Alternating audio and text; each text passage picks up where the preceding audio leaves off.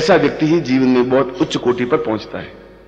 और जो ऐसा व्यक्तित्व नहीं होता, वह एक सामान्य जो बबूल हैं, जो कांटे हैं, वैसा बनकर के रह जाता है। जीवित वह भी रहता है, जीवित वह भी रहता है। मगर वह जीवन अपने आप में एक, अपने आप में पूर्ण संतोषमय होता है। एक एहसास होता है। एक धैर्य होता है, एक चिंतन होता है। मैंने तो दोनों प्रकार के जीवन जिए हैं। गृहस्थ शिष्यों के बीच में भी रहा हूँ, संन्यास शिष्यों के बीच में भी रहा हूँ। संन्यासियों में भी कई हल्के स्तर के भी होंगे। कुछ बहुत अच्छे स्तर के जिनके नाम आज भी शायद मेरे चित्त पर बहुत गहरी शाही से लिखे हुए हैं। और आज भी मैं उनके संपर्क में हूँ। भैरवानंद ऐसा एक शिष्य था, जो 24 घंटे साथ रहता था। एक क्षण को भी ऐसा मुझे सात साल मेरे साथ रहा सात साल में मुझे एक भी क्षण ऐसा याद नहीं आया कि मैं पीछे पलट कर देखूँ और वो मुझे नहीं दिखाई दे। बिल्कुल तत्पर, चौकस, हर क्षण। और आँख के इशारे को समझने वाला कि गुरुदेव, इसमें क्या चाहते हैं? पानी पानी पीना चाहते हैं विश्राम करना चाहते हैं कि लेटना चाहते हैं कि पाम दबाना चाहते हैं कि आगे बढ़ना चाहते हैं कि स्नान करना चाहते हैं? क्या चाहते हैं? वो आँख के इशारे को समझता था। और जब तक मैं जागता रहता था, तब तक बिल्कुल जागता रहता था और जब मैं सोता था तो उसके बाद ही वह सोता था।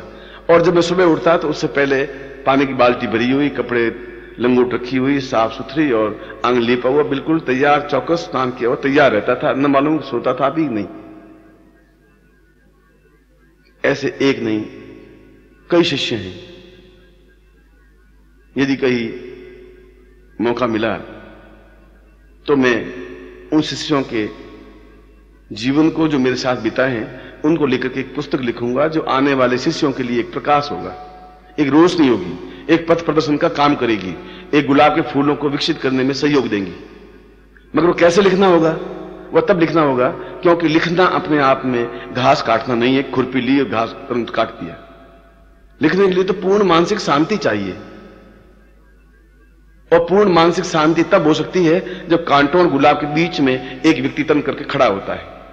एक नहीं चालीस व्यक्ति तन के खड़े होते हैं कि ये अंधेरा ये तूफ़ान मैं यहाँ तक नहीं आने दूँगा जिसे गुलाब का फूल भी खिलके मुरझा करके गिर जाए। वह तो चाहे ईश्वर भी होगा तो उसको भी हम तलवार से काटेंगे तो वो भी कट जाएगा। कृष्ण को भी अगर तलवार लगा तीर लगाते तो उनके भी खून निकला ही निकला था। राम को भी अगर रावण के तीर लगे तो उनके सारे शरीर में से कम से कम 108, 109 छेद हो ही गए थे राम के भी। वह तो एक शरीर है। उस शरीर के अंदर वह ईश्वरत्व है। उस शरीर के अंदर शिष्यत्व है। उस शरीर के अंदर गुरुत्व है। आपने अपना कितना जीवन किस तरीके से व्यतीत किया और गुरु ने अपना जीवन किस तरीके से व्यतीत किया? क्या गुरु तुम्हारे बराबर सहयोगी रहे? क्या गुरु तुम्हें बराबर प्रेम से बोलते रहे? क्या गुरु तुमने कभी गालियाँ दी? क्या गुरु ने तुम्हें कभी ओछा बोला? क्या गुरु ने तुम्हारा कभी षड्यंत्र किया? अगर नहीं किया तो तुम्हें भी कोई अधिकार नहीं है कि उनके प्रति षड्यंत्र करें, या उनके प्रति झूठ बोलें, या उनके प्रति छल करें, या उनके प्रति उस तूफ़ान को आने दें। और ऐसा मानसिक शांति मिले, ये हमारा धर्म है, जिससे कि वह उन व्यक्तियों के बारे में लिख सके, उस ज्ञान के बारे में लिख सके, जो कि अपने आप में एक जीवंत, जागृत, चैतन्य, एक काल गणना हो। इसलिए शंकराचार्य कहते हैं कि जन्म से लगा करके मृत्यु तक चाहे आप व्यापारी हैं, चाहे आप नौकरी पेशा हैं, चाहे आप किसी भी क्षेत्र में आप शिष्य हैं।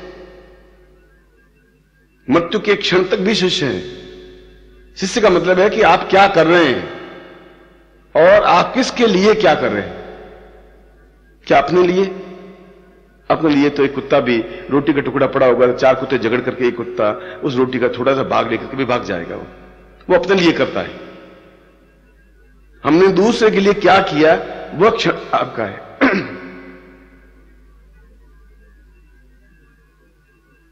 यह जीवन का एक सदगुण है कि हमने समय व्यर्थ गंवाया, क्योंकि गुरु की अपेक्षा शिष्य में भापने की शक्ति तेज होती है, सूंघने की शक्ति तेज होती है। हरदास को तो मालूम नहीं था कि बाहर कट रहे हैं। अगर उसे मालूम होता सबसे पहले शिष्य वो गुरु को दौड़ करके खड़ा हो जाता बीच में, कि मुझे काट डालो। ये तुम क्या कर रहे हो? उनको तो हवाई नहीं लगने दी। और हरिदास, की वजह से ही आज ये संगीत जो आप सुने, दे रहा है, शास्त्रीय संगीत, हरिदास की वजह से जीवित रहा है। तानसेन की वजह से जीवित नहीं रहा। तानसेन तो एक रोटियाँ खाने वाला और अकबर के दरबार की चाकरी करने वाला एक नौकर था। चाहे वो अच्छा संगीतज्ञ था, मगर संगीत बेच करके रोटियाँ खाई।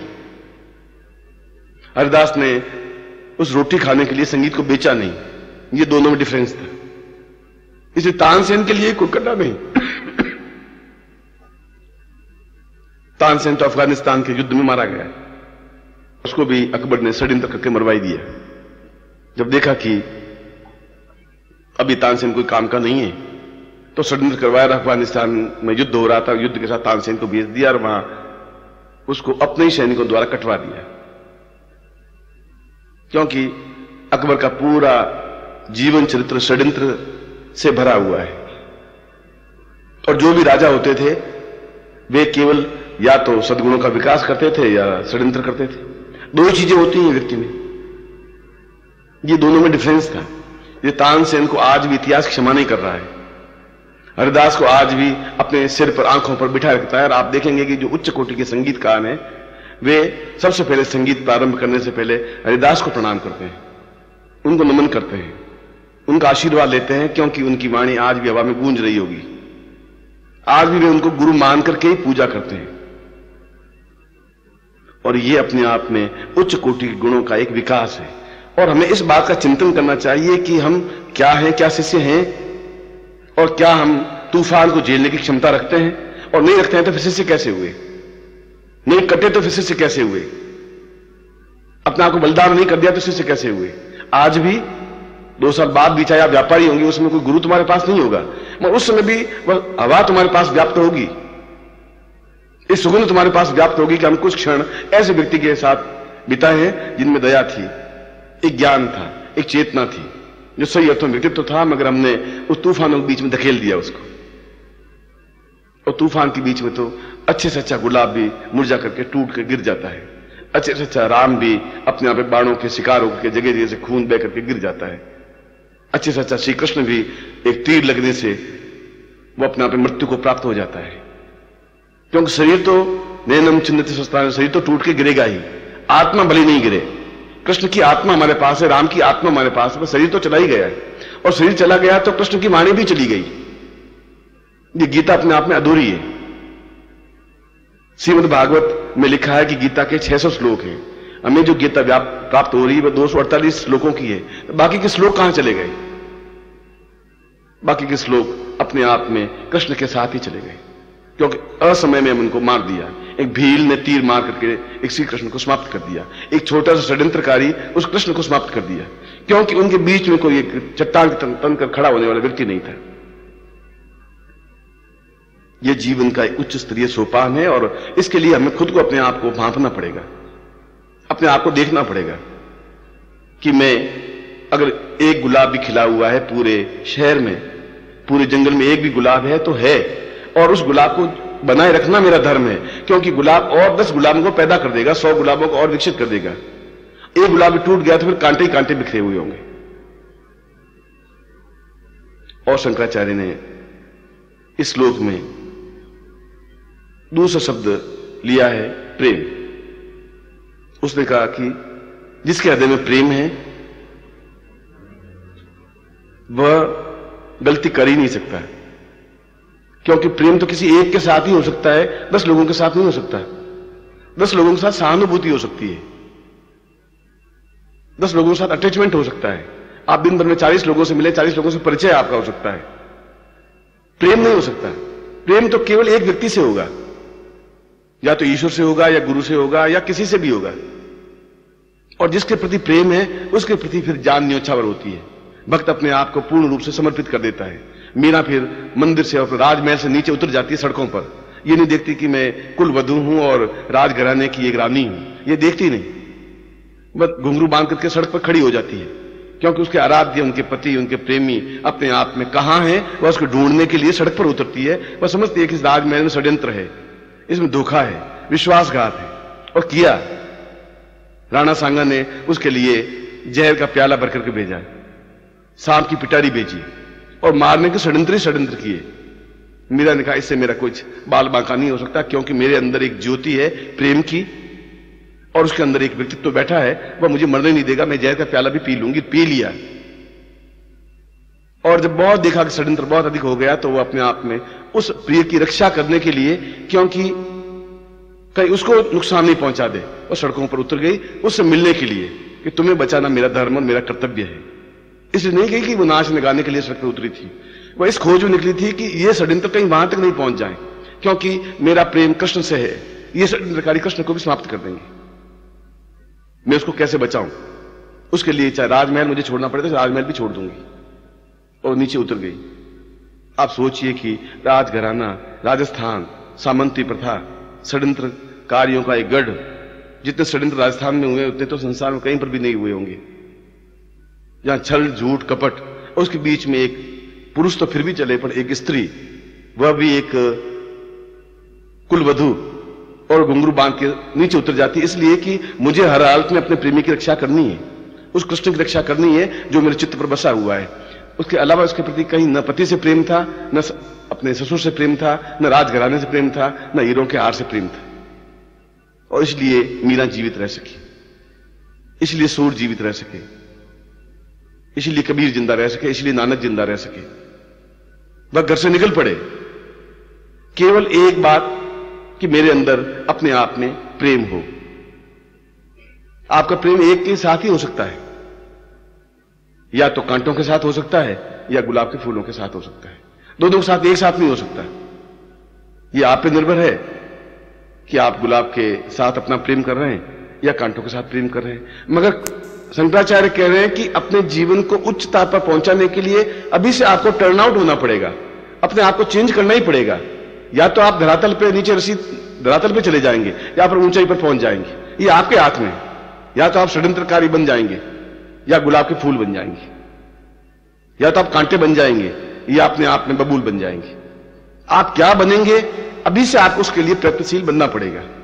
आप किसके साथ प्रेम कर रहे हैं, ये आपको सोचना पड़ेगा। आप अपने कॉलर के, कोट के कॉलर पर बबूल का एक टैनी नहीं लगाते, गुलाब का फूल लगाते हैं। और गुलाब का फूल ही ज़िंदा नहीं रहेगा तो फिर उस हृदय पर लगाएँगे भी क्या? एक प्रेम करने वाला, करने वाली अपने गुलाब के फूल से अपनी भावनाओं को विकसित करती है कि जैसे मुस्कुराता है, उसी प्रकार तुम्हारी मुस्कुराहट में देखना चाहता हूँ। ये क्या है? ये अपने हृदय के अंदर एक विकसित कमल है, फूल है, गुलाब है, उसको एक भावनाओं का प्रतिबिंब है। तो दस लोगों को गुलाब नहीं देती या देता है। वह दस ईश्वर को नहीं मानता। मीरा फिर दस गुणों को नहीं मानती बता मेरे तो गुर्दर गोपाल, दूसरों में कोई, दूसरा कोई है ही नहीं। वो मिले, नहीं मिले, मैंने तो देखा भी नहीं उसको। पर मुझे मालूम है, मेरे तो गिरधर गोपाल, मुझे ध्यान है। नहीं मिलेगा उसकी मर्ज़ी। मैं उसको खोज करके इन षड्यंत्र कार्यों से बचाऊँगी। नहीं तो समाप्त हो जाएगा। उसको बचाने के लिए मुझे ज़मीन पर उतरना पड़े, ज़मीन पर उतरूँगी। लोक लाज खोई, संसार मुझे थू थू करेगा तो उसकी बात चिंता नहीं। मगर मैं कुछ करूँगी ज़रूर। हर हालत में उसको बचाने की कोशिश करूँगी। और मीरा आज अमर हो गई। और सैकड़ों लोग उस जमाने के थे, वे समाप्त हो गए, उनके नाम हमें याद नहीं है। वो अपने आप में हज़ारों लोगों में से एक लड़की अपने आप में जीवित रह सकी, उच्च कोटि पे पहुँच सकी। बाकी सब लोग तो मर चुके इस शंकराचार्य कहते हैं कि आपका प्रेम अपने गुरु से है या ईश्वर से है या नहीं है? अगर ईश्वर से है तो फिर दूसरा बीच में कुछ नहीं है। यदि गुरु से है तो फिर दूसरा कोई कुछ है ही नहीं बीच में। दो लोगों से, तीन लोगों से, चार लोगों से आप प्रेम नहीं कर सकते। जिस पे प्रेम करते हैं, पाणनी के व्याकरण में, शब्दकोश में, प्रेम शब्द का अर्थ दिया है, अपने आप को पूर्ण रूप से मिटा